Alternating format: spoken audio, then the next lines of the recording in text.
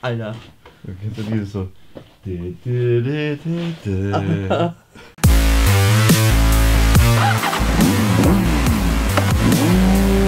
Moin Leute, willkommen zu einem neuen Video. Ja, heute geht es mal wieder ums Schrauben. Und äh, es geht um ein Problem, was nicht der Johnny hat, sondern sein Moped. Erzähl doch mal, was Mein war los? Baby. Ja, ich war auf dem Weg nach Hamburg, schön auf der Autobahn mal gefahren. Und ja, auf einmal war die Leistung weg. Und ich rollte nur noch. Bin ich auf dem Stadtstreifen gefahren, runterge runtergeschaltet, auf einmal hatte ich wieder Leistung. So, dachte ich mir so, hm, Getriebe. Dann habe ich schnell herausgefunden, dass der zweite Gang noch ging. Der erste war weg, da konnte ich nicht mehr reinschalten. Leerlauf war auch weg. Mhm. Der zweite ging, der dritte ging noch, der vierte hat gerasselt und der fünfte ging noch. Der sechste war quasi Leerlauf. Warum ist das so? Meine Vermutung ist, dass sich irgendwelche Stellmechanismen ver, ja, kaputt gegangen sind, die die Ritze richtig aneinander stellen.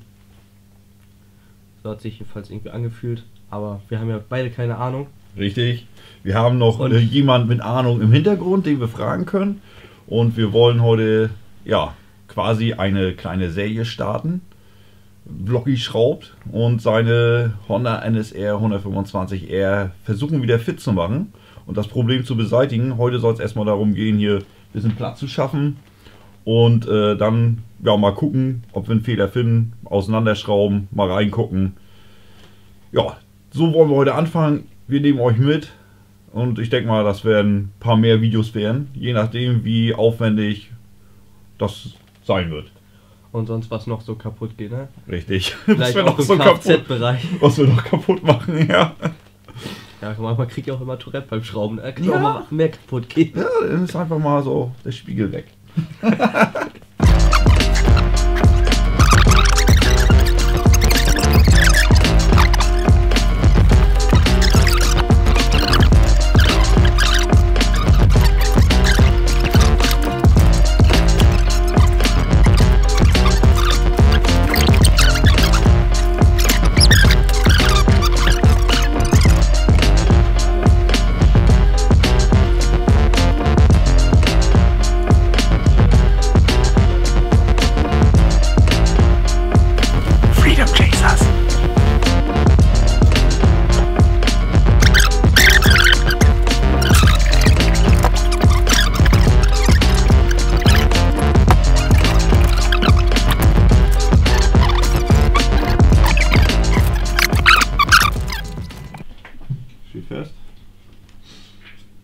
machen wir vorne auch. ne?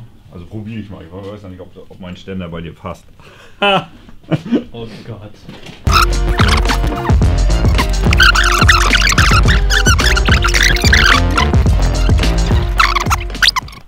Haben wir eigentlich irgendwie einen Behälter, wo die ganzen Schrauben also irgendwie sortiert reinkommen?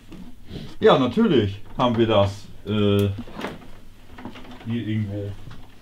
Also, Wir sind super ich vorbereitet. finde das, find das gut, dass du mich fragst, weil ich kenne mich ja hier auch total aus. Ah, kaputt. No. Also, hier ist eine Schraube und die ist halt hinter dem Reifen. Und äh, eigentlich, wenn sie normal steht, kann man ja den Lenker einschlagen und Ja. kommt da ran. Rein Verstehst-? Verstehst du jetzt schon mein Problem, weil sie ja vorne aufgebockt ist? Ja. Ich verstehe dein Problem. Das ist schön. Ich mal versuche jetzt generell dein Problem zu lösen, ja?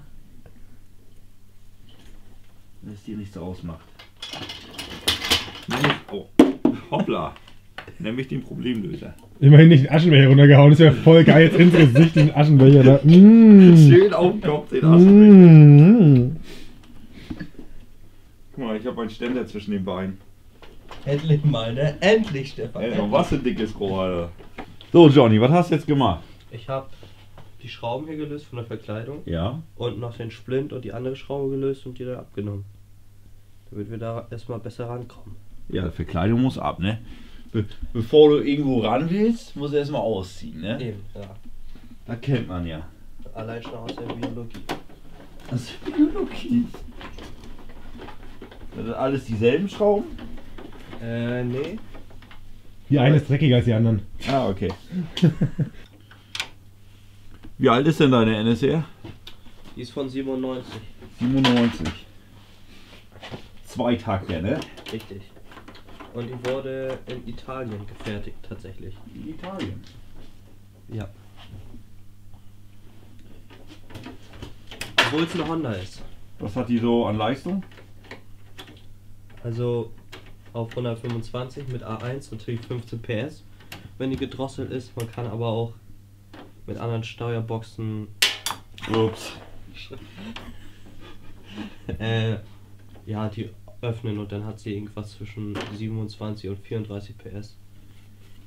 Nicht durch. So, äh, Öl ablassen, ne? Ja. Wäre so das nächste. Hast du deine Wanne mit? Ich hole mal meine Wanne. Bis dann, ich hol die Wanne. Endlich steigt das Niveau in diesem Raum. Also, ekelhaft, mit dem zu arbeiten. Achtung, Füße hoch, das Niveau sinkt. Ich habe ihn schon gut dressiert. Bitte! Danke. Danke. Ja, sofort. Das wird wahrscheinlich jetzt ein bisschen brauchen, bis sie angeht. Hä? Wieso? Ach, ich habe die Batterie hier rausgebaut. Und trotzdem geht das Licht? Lol, da habe ich sie nicht rausgebaut. wieso, geht, wieso geht denn, wieso geht denn das an nicht? Hä? Das ist schon wieder so geil, Alter. Hä, aber Moment. Ich habe die Batterie rausgebaut. Hä? So nicht. viel Restspannung kann auf dem Wandler aber eigentlich auch nicht sein. Nee. Hab ich den nicht rausgebaut? Nee. Nee, da ist eine Batterie drin. Ja, das ist schon mal geil. Jetzt ich mich nur so andere Sachen. Leucht, leuchtet denn auch deine, deine äh, Neutrallampe, Ach, wenn du im sechsten bist? Dann zieh mal die Kupplung dabei, weil das ist wahrscheinlich das Problem. Hä?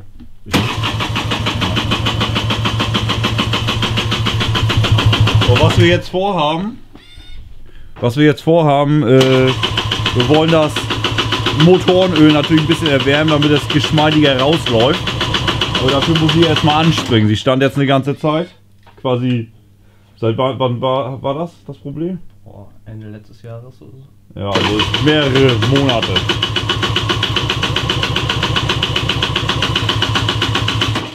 Ja, kommt ja.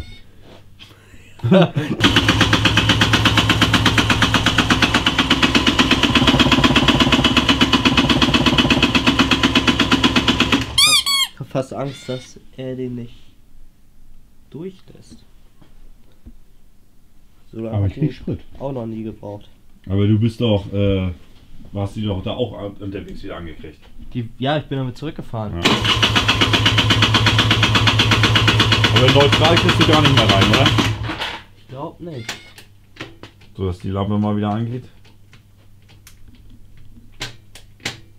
Ich komme halt nicht mehr runter in den Neutral. Mhm.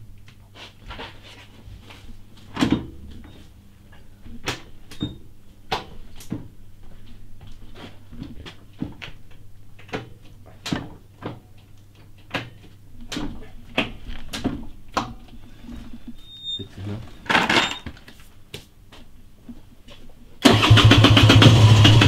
Ah.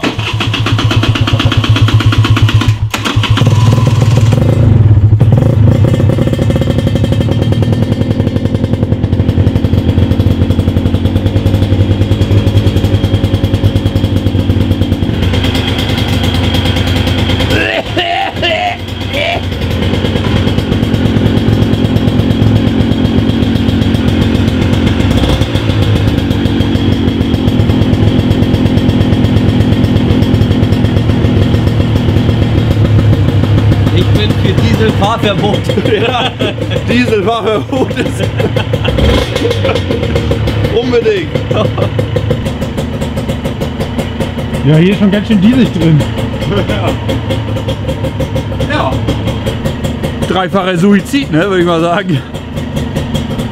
Aber ich find's geil, ne? Also, Es gibt kein geile Geruch also als auch erstmal. Kuchen, ne? Ja.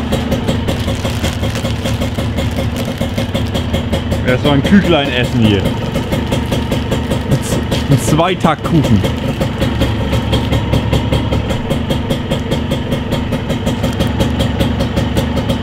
I like it. Aber du bist jetzt quasi im sechsten, ja?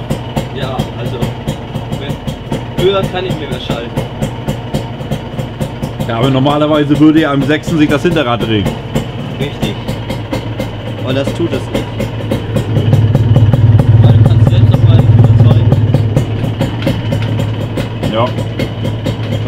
So.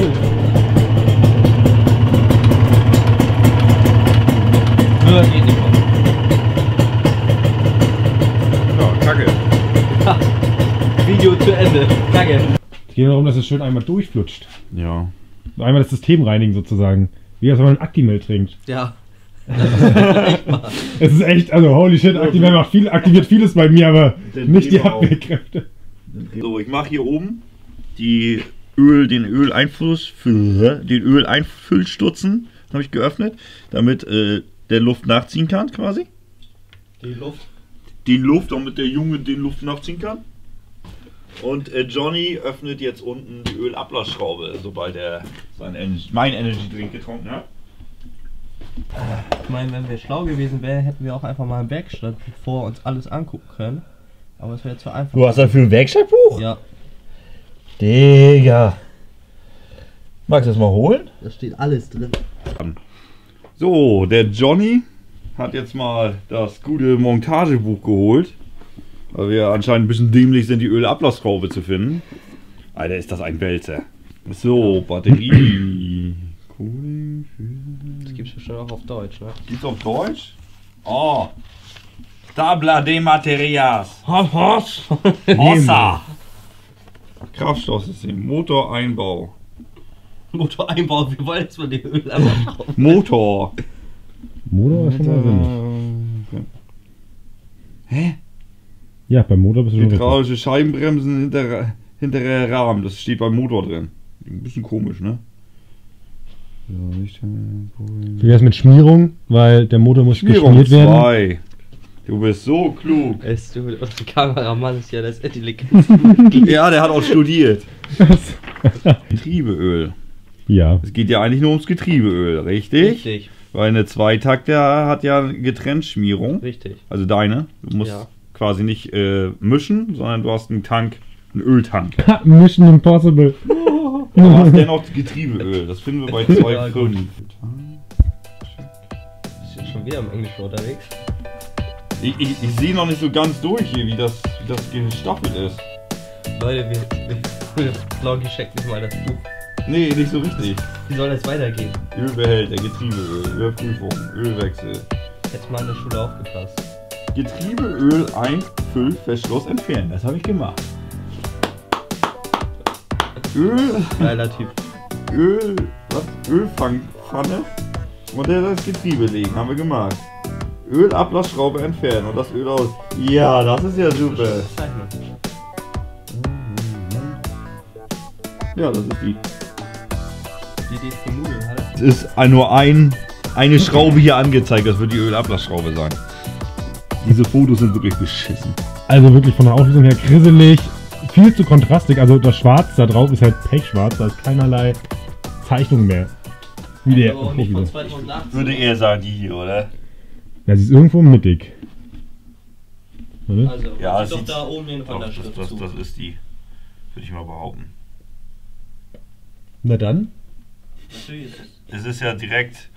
Also die wird es nicht sein. Das ist ja nur Dingsabdeckung. Das wird die sein. Apropos Papa. Passt.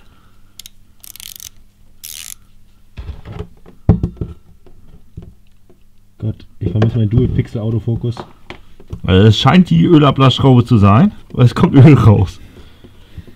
Du bist so klug. Ja, ne? Hätte studieren sollen. Okay. Eins, zwei, drei. Alter, Das war so antiklimatisch. wieso ist die so lang? Oh Gott. Das erkläre ich dir, wenn wir die Kamera aus haben. Also, Dr. Flocky. Das ist hier der Statusreport.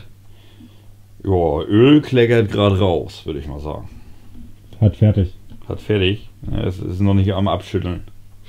Er kleckert noch. Ja, wollen wir selber versuchen oder wollen wir äh, ins Büchlein gucken, wie wir den Motor aufkriegen? Dein Buch ist zu, mir zu Spezieller. anstrengend. Ja, bau doch mal den Motor raus, ist doch deine Karre. Ich finde, wir sollten erstmal darüber nachdenken, bevor wir Sachen unnötig machen. Also, wir haben festgestellt, um ans Getriebe zu kommen, müssen wir den Motor rausnehmen. So. Jedenfalls ist das unser, aktuelle, unser aktueller Überlegen. Ja. Überlegensfakt. Gibt es hier noch so eine tolle Explosionszeichnung, die wir mal hier einmal so zeigen können?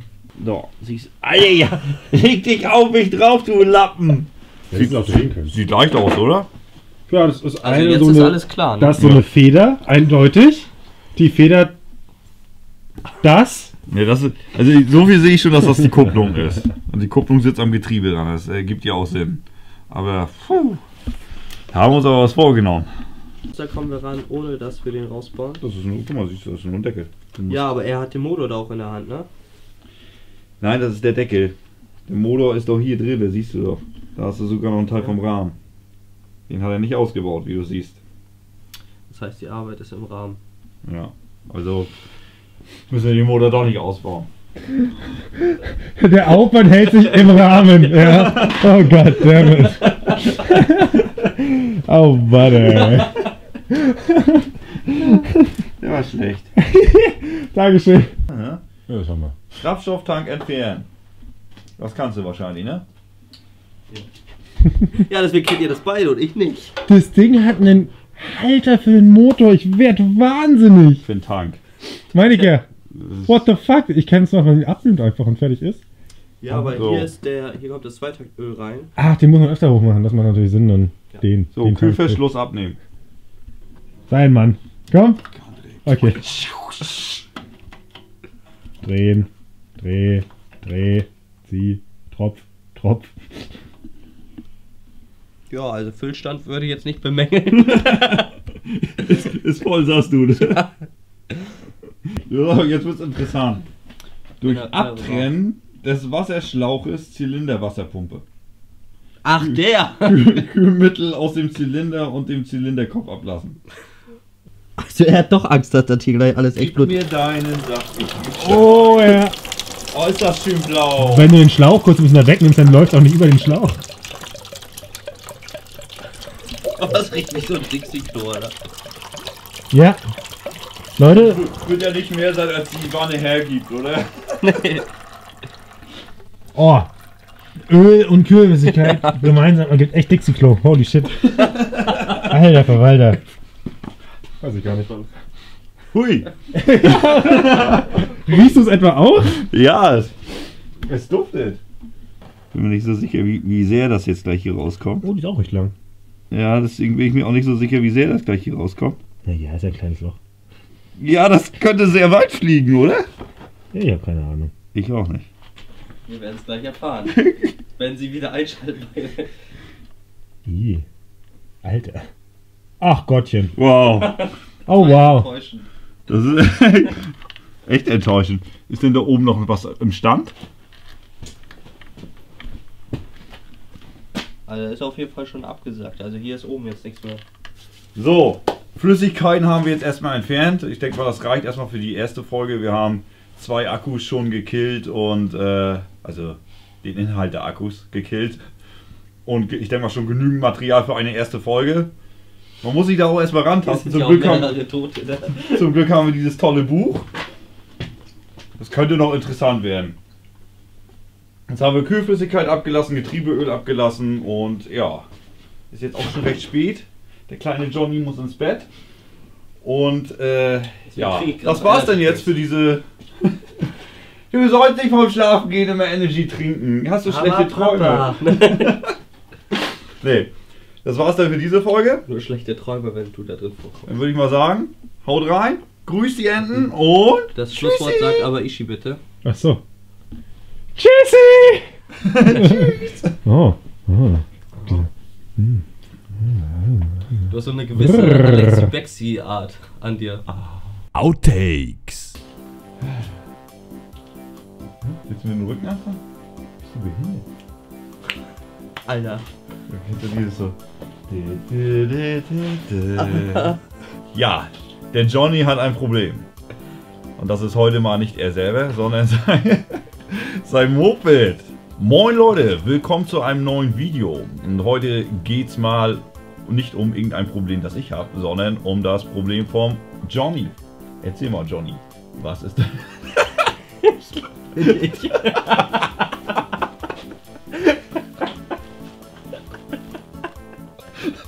Was ist dein Problem? Ich liebe Ich habe noch keinen gesehen, kein Typ, der so, so daneben ist wie du, ey. Schön aus meinem Energy Drink getrunken. Ja, jetzt, jetzt habe ich keinen mehr. Jetzt kann ich keinen mehr trinken. Weil du mit deinem. Aber dafür habe ich jetzt Herpes. Moin Leute, willkommen. Du bist so kacke, Alter. Du kannst dich jetzt mal zusammenreißen. Oh mein Gott, da ist eine Leiche! Was? Was? Da steht eine Leiche auf dem Kopf. ja!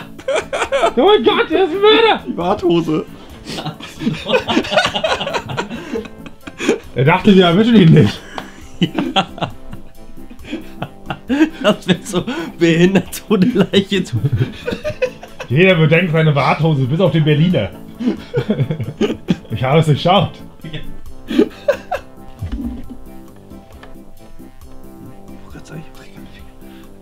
Wenn ich ihn hier so rüber, ist voll wie Sandpapier. So. Das ist recht. Ähm, ja. Hast du was zum Finger abwischen? Nein, nein, ich hab mich schittig gemacht. Liegt hier nicht irgendwo ein Lappen rum, da hinter dir ist ein Lappen. Ich sehe einen Lappen, aber. Komm mal her, du Lappen. Sag noch nie erlebt beim Motorrad. Du meinst den hier? Das, wo Vorsicht heiß draufsteht. Danger. Da kannst du das mal. Horsong, Hor, Heißt noch? Also, also, also mal noch. Ja, das ist So viel steht da. Ich wette, du hast irgendwen gerade beleidigt.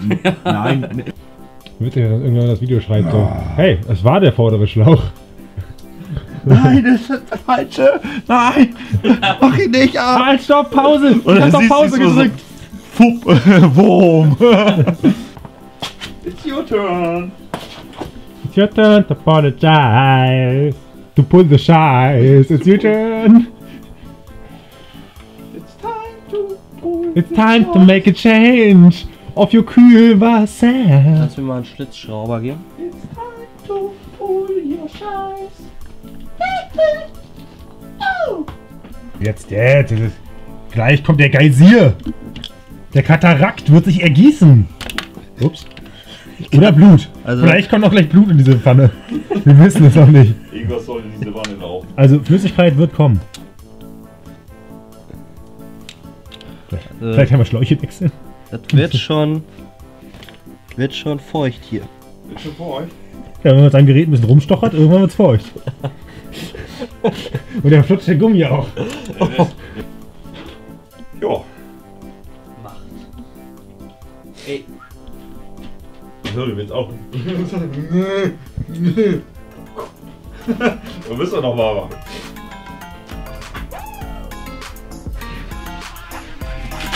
Uh.